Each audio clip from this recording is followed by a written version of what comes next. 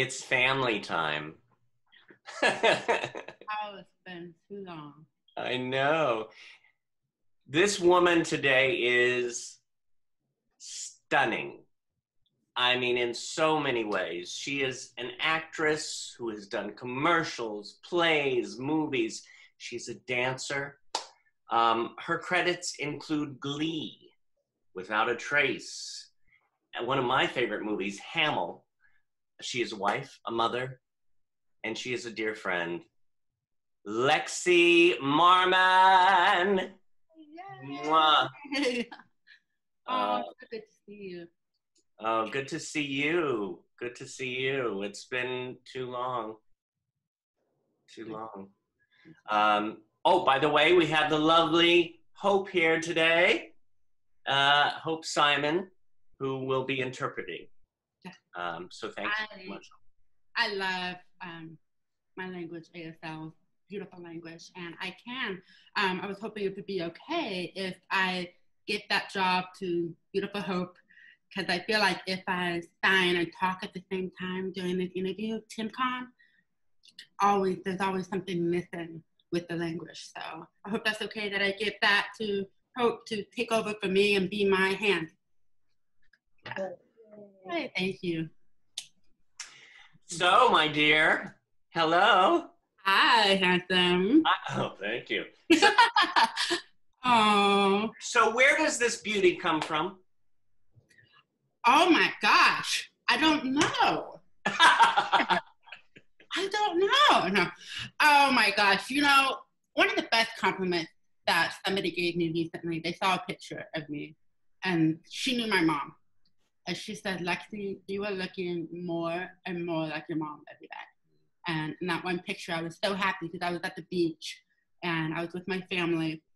And it was in the middle of all this crazy pandemic that's happening right now. And I was just so happy because the sun was setting and there was like a sense of a little bit of normalcy. And I was so happy and I was smiling and the picture was taken and somebody posted it and one of my mom's friends saw the picture and she said, Lexi, I thought that was your mom.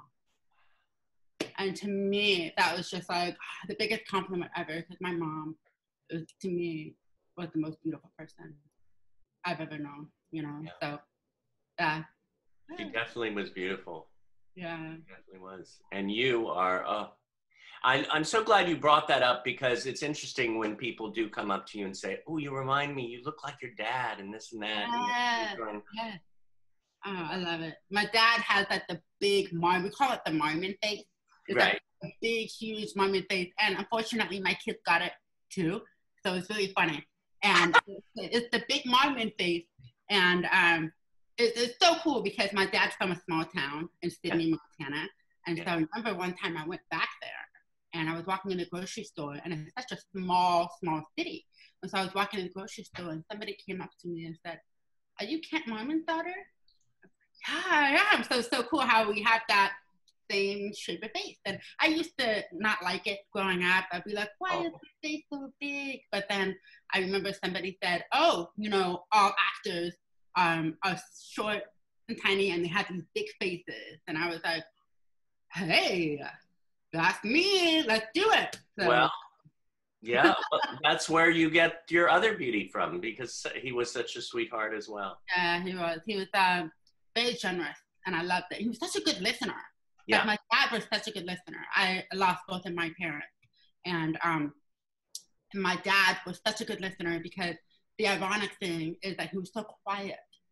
And he really listened. He remembered what you said. Like I remember I would say things like, oh man, you know, I always would get lost here and stuff. And then next week my dad would be like, oh, I have something for you. And I would look and be like a GPS thing for my car. Yeah. Wow, you know, he always listened. And um, I thought that that's a, a beautiful trait that not a lot of people have these days, you know? Exactly. Yeah. Exactly. It's about, all about listening. hmm Um, because I'm deaf, you know? So um, in college, I was joined a sorority for like three months. I Yeah. realized it wasn't for me. But um, I joined a sorority and I got an award for being the best listener. And I thought it was hilarious. But one of my friends was like, no, like, see, you really pay attention to people. Like, you listen to people, you remember things. When people say, oh, you know, I'm going through this with my family and stuff, next time I see them, I try to make an effort. Or oh, how'd that thing work out, you know, with the family? Yeah. So it's funny how listening and hearing mean two different things. Exactly. Yeah. Yeah. yeah. So it, when you were seven years old, something happened at Disneyland, didn't it? Oh my gosh. I video. I should totally send it to you. I oh, I would love to see that. Yeah. Oh my gosh.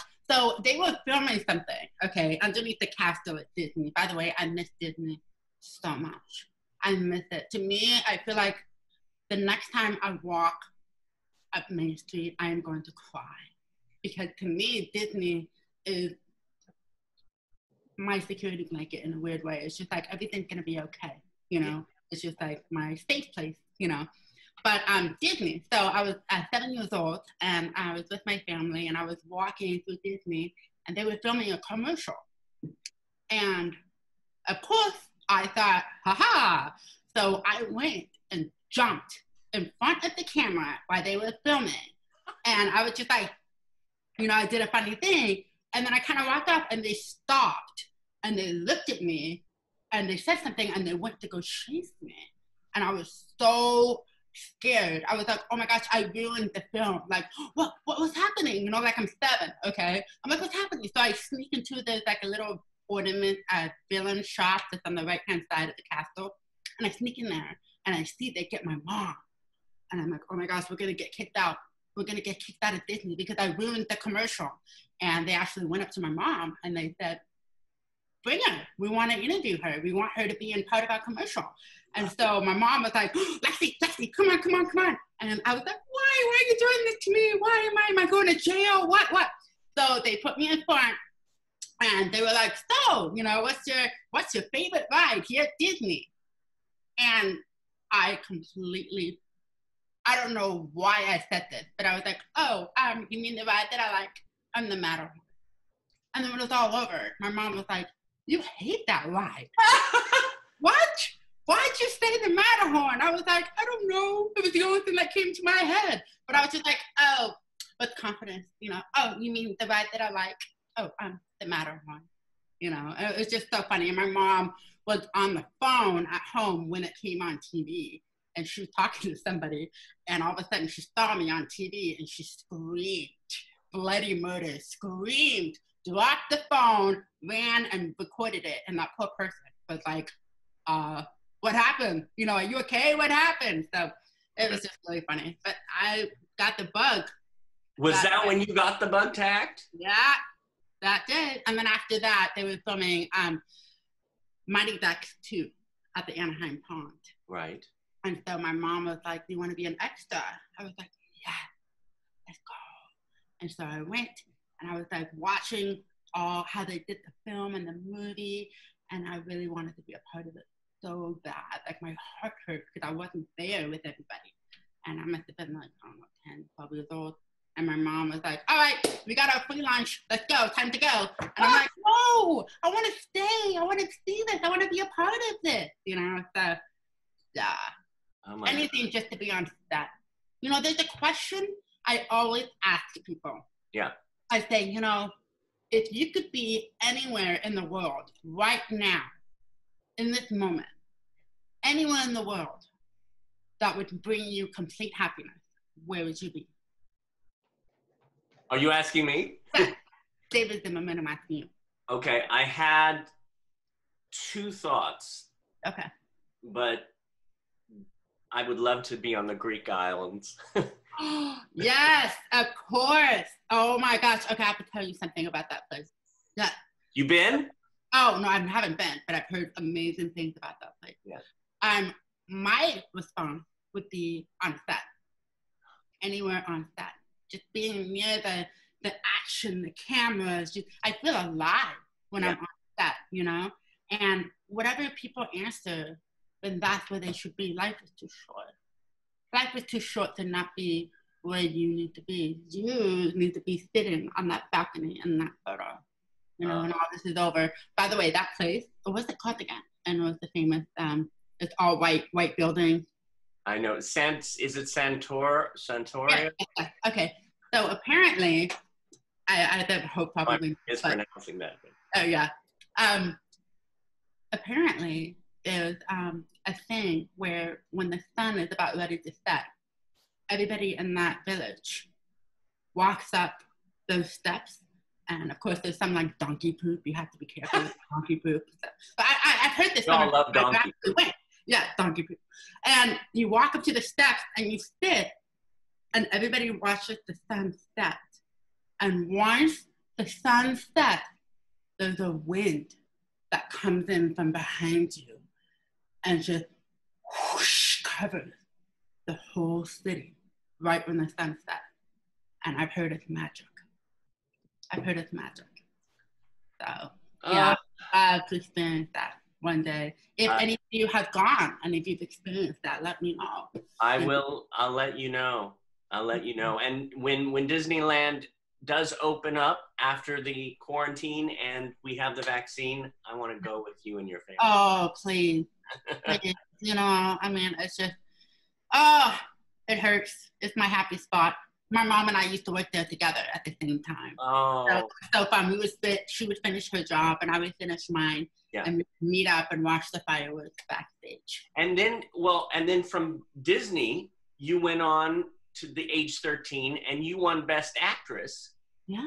For your performance of Helen Keller in The Miracle. Oh, yes, yes. Um, ooh, okay. So when I was in middle school, I was the subject of a lot of bullying. I got bullied very badly. And um, I think it was because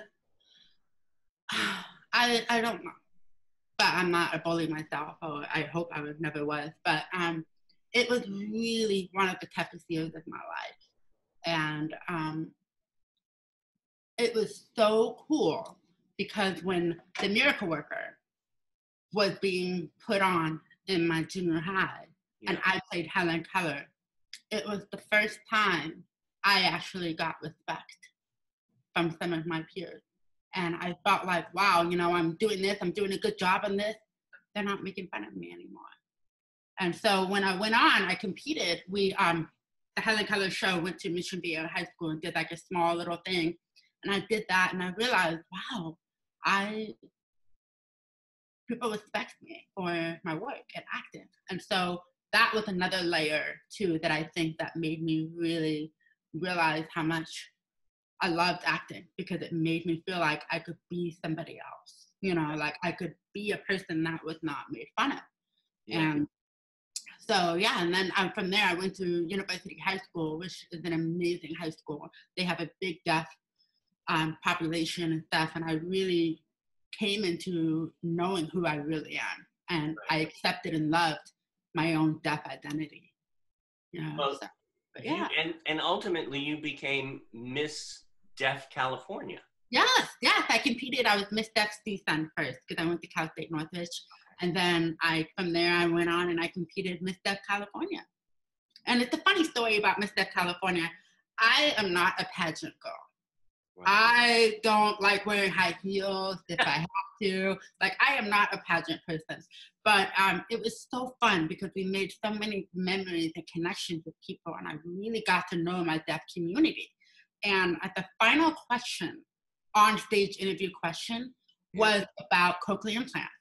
And cochlear implants is kind of a, um, a, a device where people who are deaf, it works for some people. They can use a cochlear implant to maybe help them hear as much as they, they can, but it doesn't work for everyone. It's still, you know, and it, has got a lot of um, conflict with, you know, is, is, it, is it correct? Oh, should we be doing this? Should we not be doing this? Like, it's got a lot of um, um, backlash from all communities about this cochlear implant. So the final question was, do you support a cochlear implant? Yes or no? And that was the final question. And this was back in 1999, right? Right. And so times are a little bit different now. Things are a little bit more accepted. Yeah. Um, everybody said no, we don't support the cochlear implant. We are who we are. That's who we're supposed to be. And my best friend at the time just got a cochlear implant. And she was crying to me, saying how she could hear things that she never could hear before. She, she was like, Lexi, why didn't you tell me that you can hear other people pee? I had no idea that if you go to a public bathroom, you sit, you can hear other people peeing next to you. I was like, oh my gosh. So I saw the happiness. I know. I saw the happiness and the joy from her. So when I was asked that question on stage, I thought of her. And I said, you know what? I support the cochlear implant because there's people out there that it has really benefited, you know, really helped them out. And so I support anybody that wants to make a change to their life and somebody who, something that makes them happy. And so I came off that stage and I in tears because I was like, I lost. I know I lost. I just told a whole room full of deaf people that I supported something that could make a person not deaf anymore. So I knew I lost. And so when we came on the stage, I was like, you know what, it's okay. And so I stood on stage and they announced my name. And there's an actual picture of me going. oh I was so shocked. I was like, what? What?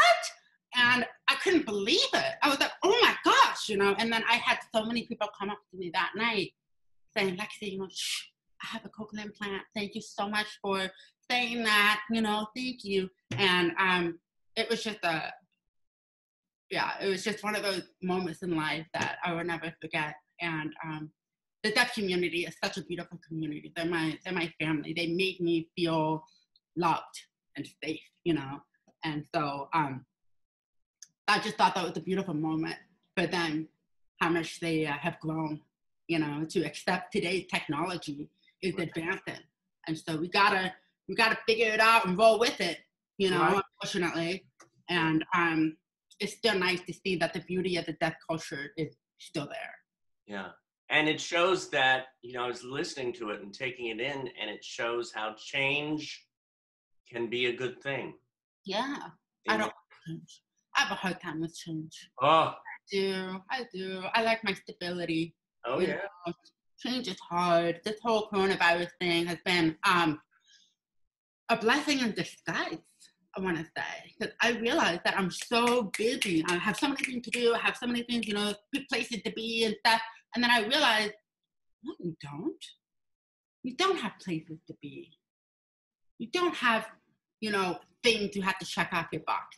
You can sit outside and be in the sun for 10 minutes and let the dishes build up. It's okay. It's okay to be still. It's okay to be calm. It's hard. It's really hard, but it's okay. It's like a, for me, I feel like it's a muscle. Mm. More and more you do it, the more easier it becomes.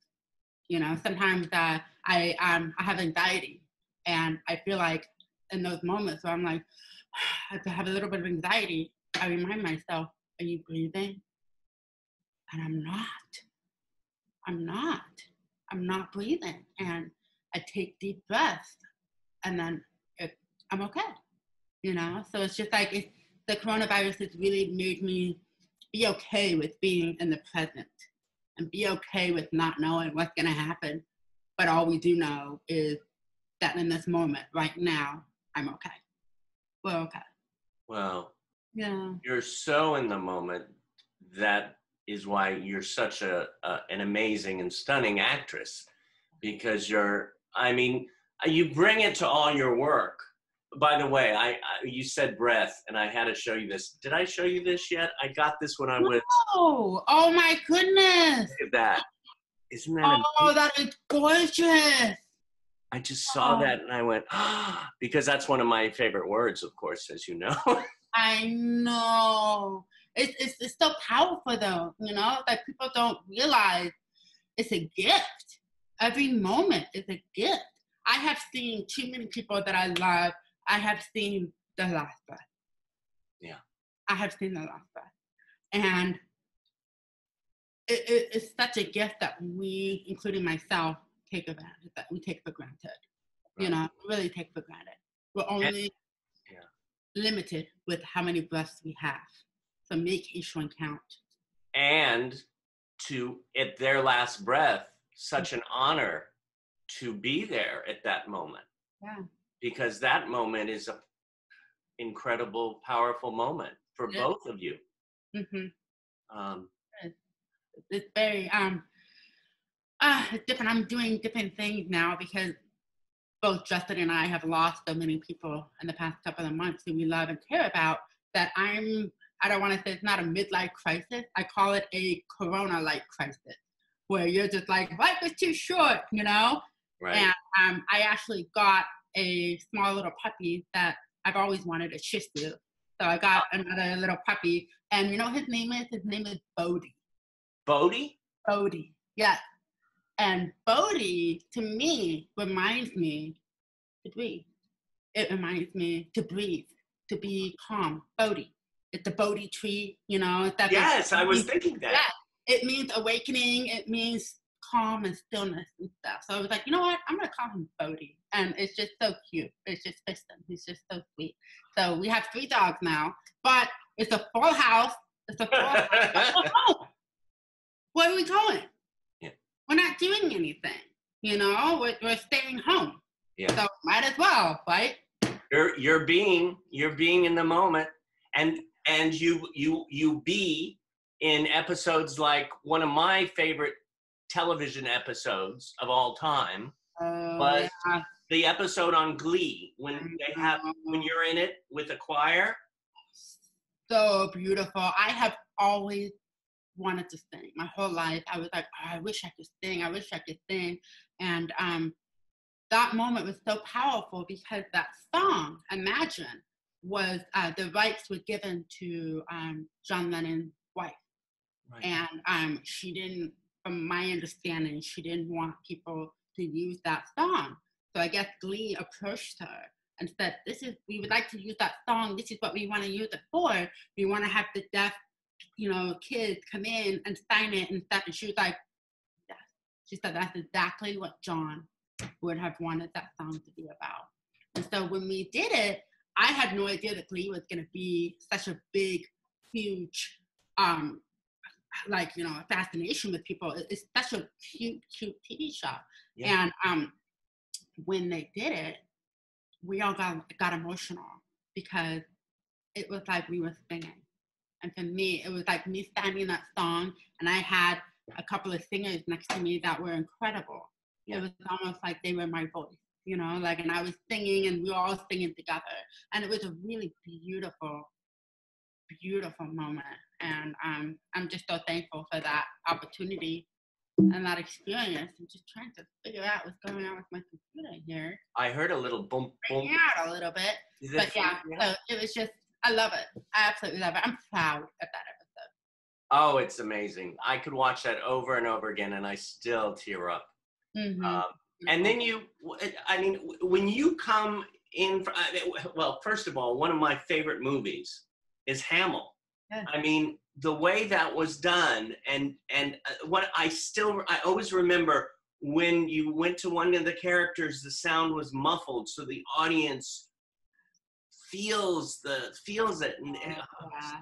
yeah. Oh, a hundred percent. A hundred percent. You know, it's um they did such a great job. That was such a fun production.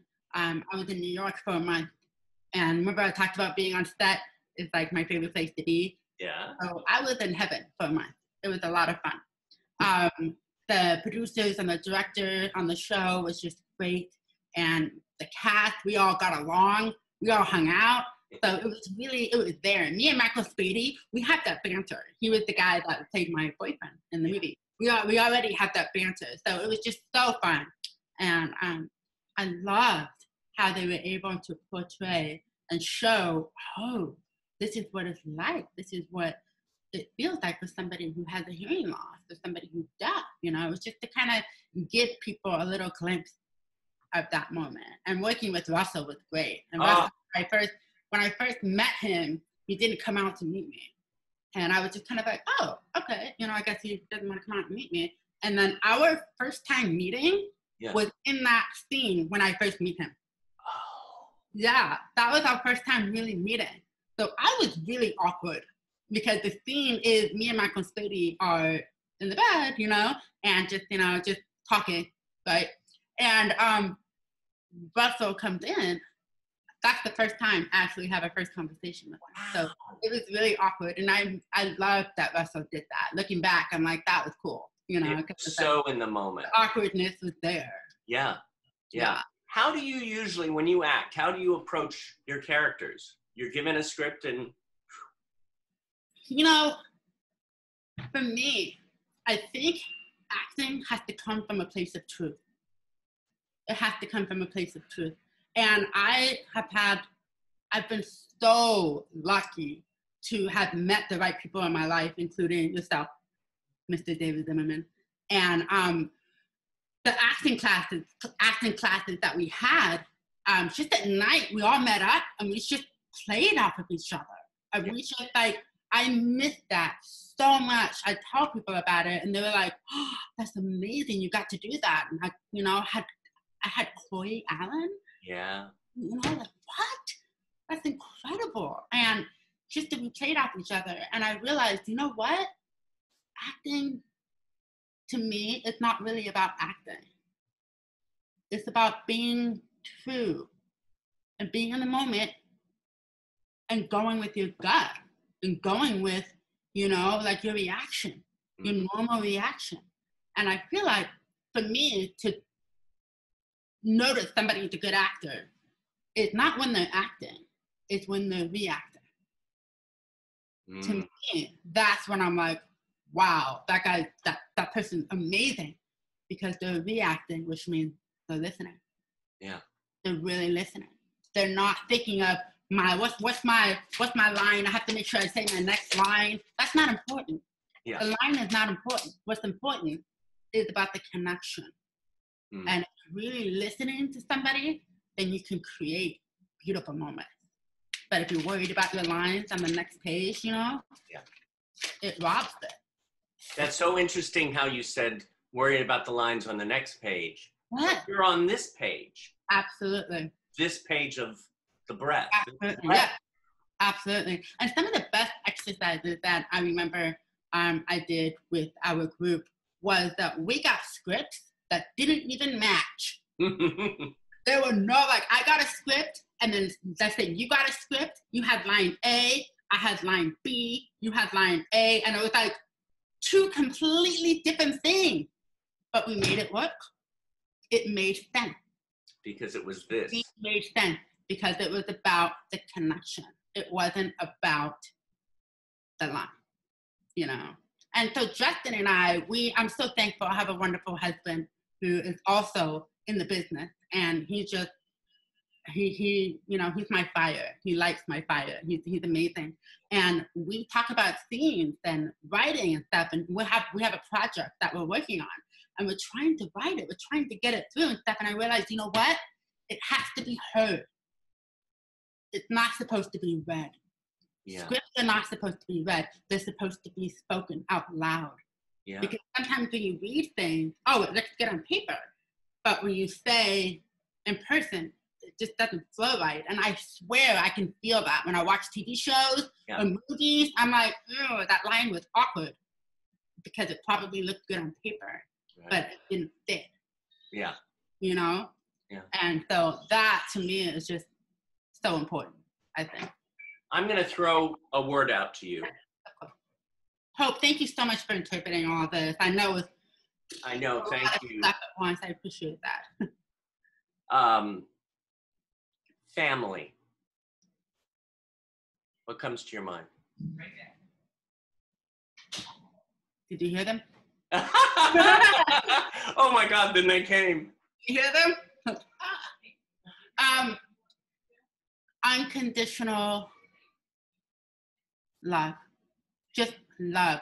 Um, family, I've learned, doesn't have to be who you're related to. Yeah. Family is your world of people who you can count on. And speaking of family, Yeah.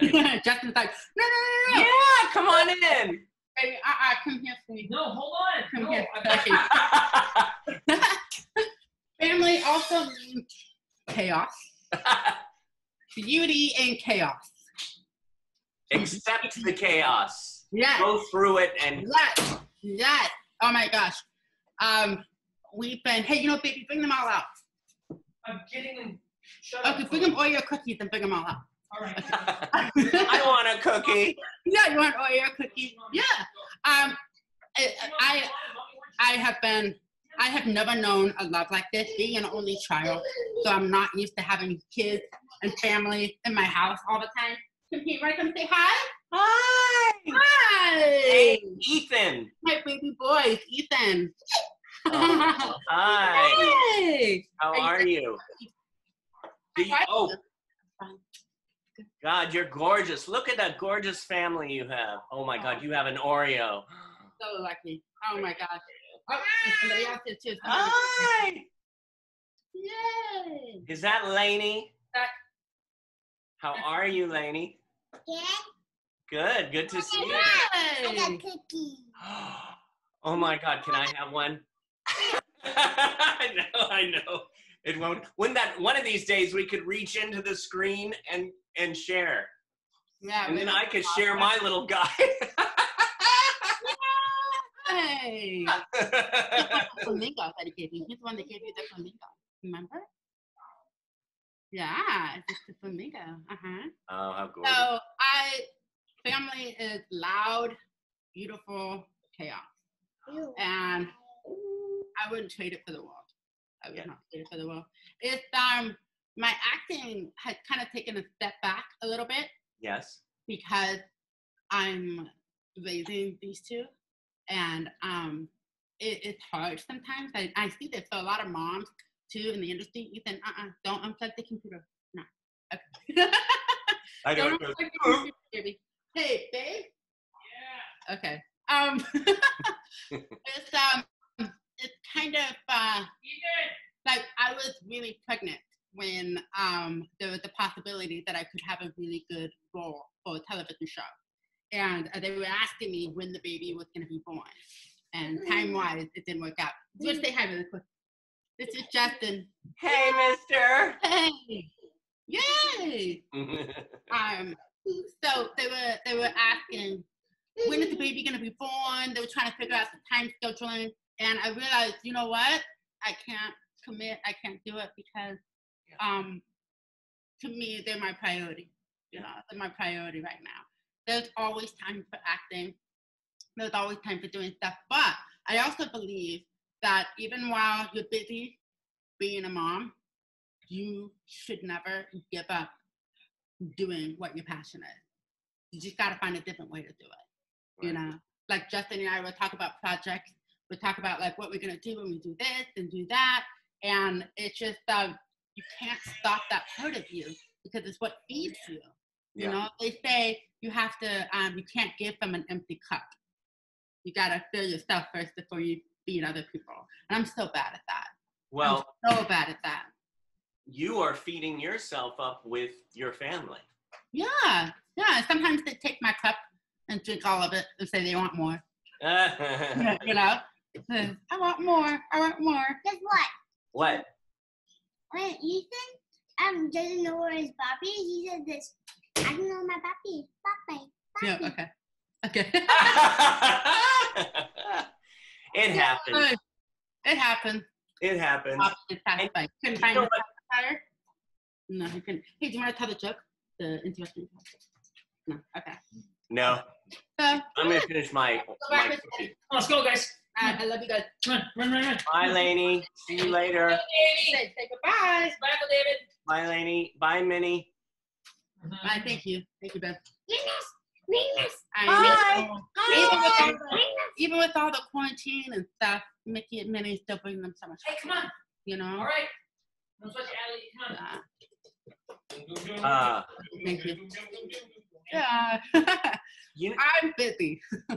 yes, and I can also see the strength and this solid core that you have, even more now than from before. I could see this. You know exactly where you are and who you are, whether you know it or not.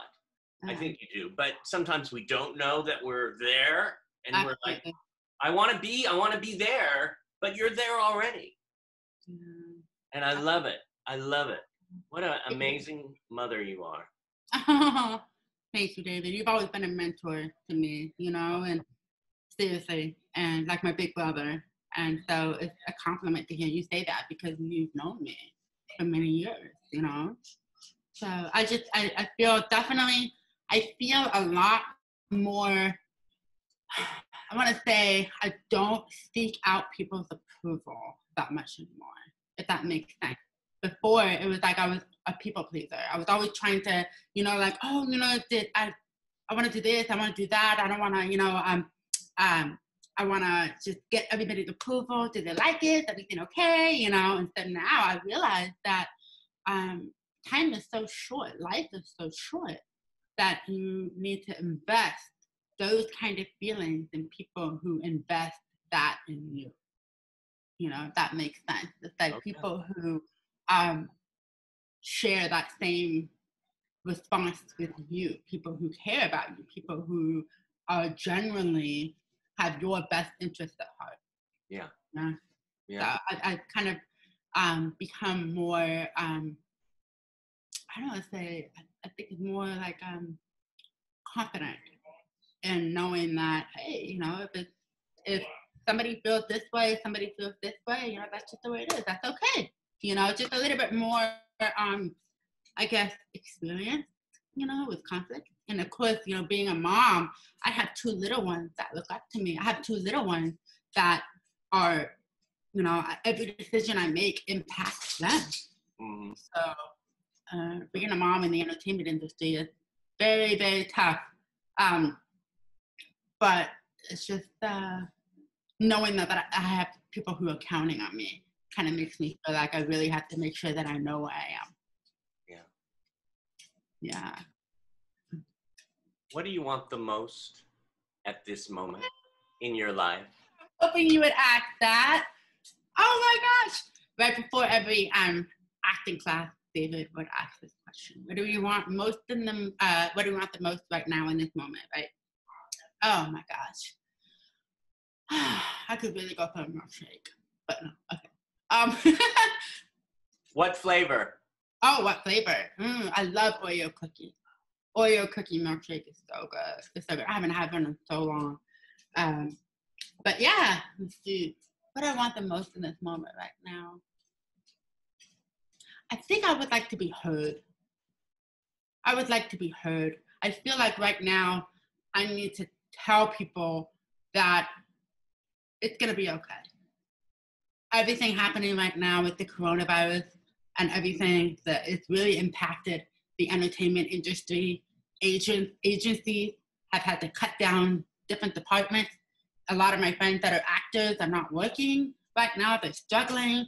And I just feel like I just want to say, you know what, if you're in that situation and if you're in that position, whether you're a mom or whether you're not able to fully do what your passion is, it's okay to be in the moment and just embrace it and use it maybe to help get you with what you want when things kind of calm down a little bit. But just feel like I just want to be heard, you know, because I think maybe I needed somebody to tell me that. Yeah. No, you're definitely heard. Mhm. And I definitely love you. I love you too.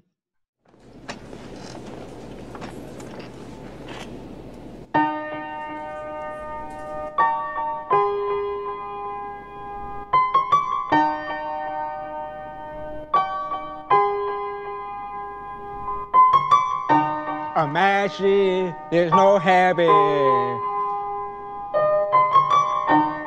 It's easy if you try. No hell below us. Above us only sky. Imagine all the people living life for today. Imagine, Imagine there's no no country. It It's not hard to do. Nothing to Nothing kill to or kill, die to for. die for. no and no religion religion too. too. Imagine all the people living life, in peace. You, you may say, I'm a dreamer, but I'm not, the, only one. I, hope, someday, someday you will join, join us. The, world, will be as one. Imagine no possessions. I wonder if you I wonder if you can. No need for greed. No need or for greed, hunger. A brotherhood A brotherhood